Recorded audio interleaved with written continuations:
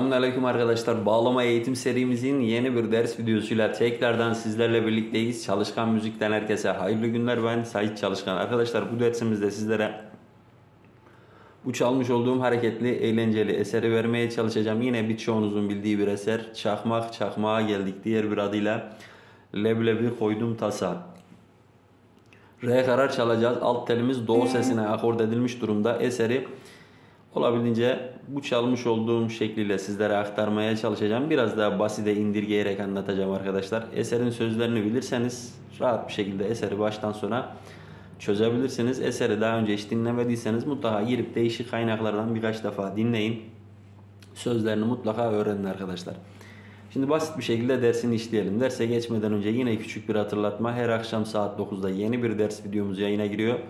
Bizlere destek amacıyla videolarımıza beğeni bırakabilirsiniz. Desteklerinizi bekliyoruz arkadaşlar. Fa perdesinden başladığımızda Fa sol fa bakın fa'yı vurup solü alttan çekip tekrar fa'ya bir vuruş yaparız. Parmak pozisyonlarına mızrak vuruşlarına dikkat edelim. Fa sol fa hemen ardından sol la birer vuruş. Fa sol fa sol la sonrasında La fa sol bakın. La fa sol birer vuruş. Fa sol fa sol la la fa sol. Şimdi bu harekete bu pozisyona dikkat edelim. Bunu 3 yerde yapacağız. 3 bölüm halinde. Birinci bölüm bu. İkinci bölüm aynı şekilde aynı tekniği bu kez mi bemol 2 fa'dan başlayarak yaparız. Mi fa mi fa sol sol mi fa şeklinde mi'ler bemol 2 arkadaşlar. Bakın mi'nin hemen yanı. Tekrar alalım. Mi fa mi fa sol yapıp sol mi fa. Sanırım anlaşıldı. Mi fa mi fa sol sol mi fa. Sonrasında bu kez aynı tekniği re'den ve mi bemol 2'den başlayarak bakın bu iki perdeden başlarız. Re mi re Aynı şekilde yani Bakın re mi re mi fa fa re mi. Şimdi birleştirelim bu üç bölümü. Fa sol fa sol la la fa sol. Mi fa mi fa sol sol mi fa. Re mi re mi fa fa re mi. Birbirinin aynı üç bölüm çaldık.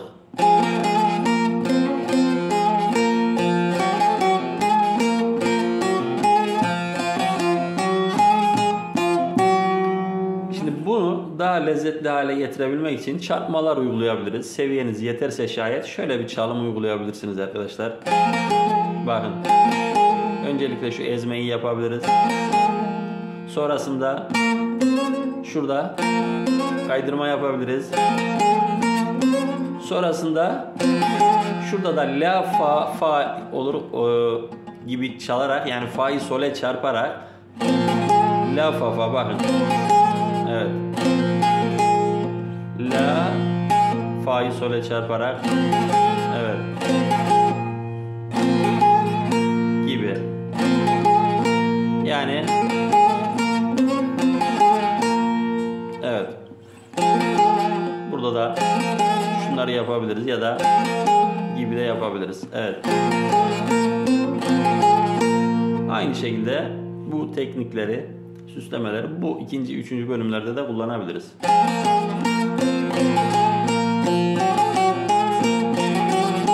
Gibi. Sonrasında da son dördüncü bölüme geldiğimizde bunu yapabiliriz. Re mi bemol 2'den re mi re mi fa sol fa mi mi re re. Bakın re mi bemol 2'den re mi re mi fa sol fa'dan mi bemol 2'den re'den fa mi mi re re re mi re mi fa sol fa mi mi re re. Yine burada da fa mi mi re re'yi çarparak bu şekilde icra edebiliriz. Gibi evet. Sanırım anlaşıldı. Bu 4 bölümü 2-3 tur baştan sona çalarız arkadaşlar.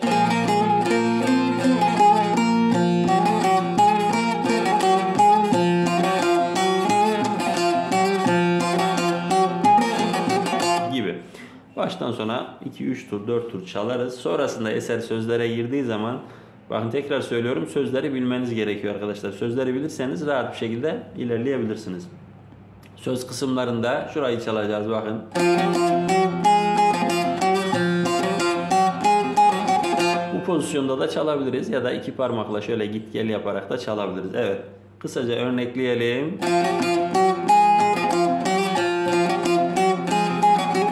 Ne diyor burada? Bakın dikkat edin şöyle. Levlevi koydum tasa. Evet bu şekilde yürüyebiliriz. Bak hareketlere dikkat edin. Levlevi koydum tasa.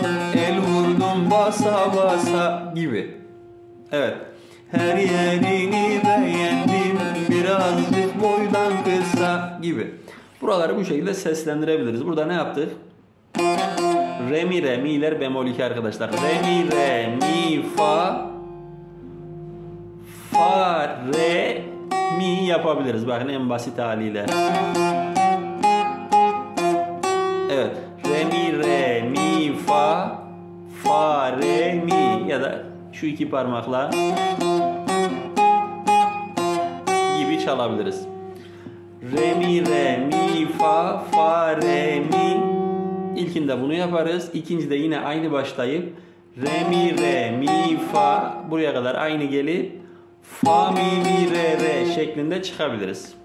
Fa mi mi re re re mi re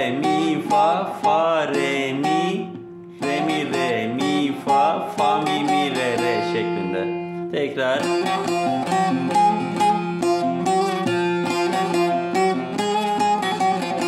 Tekrar.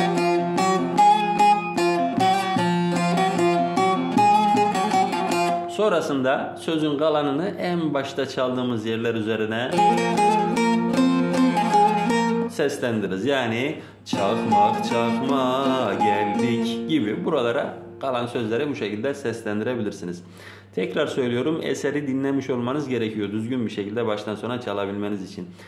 Dediğim gibi daha önce eseri dinlemediyseniz girip değişik kaynaklardan dinleyin. Eserin sözlerini bilirseniz sözleri takip ederek söz akışına göre baştan sona eseri bu vermiş olduğum şekilde tekniklerle çalıp seslendirebilirsiniz arkadaşlar. Sanırım dersimiz anlaşılmıştır. Bir sonraki dersimizde videomuzda görüşmek üzere. Hoşçakalın. Başarılar.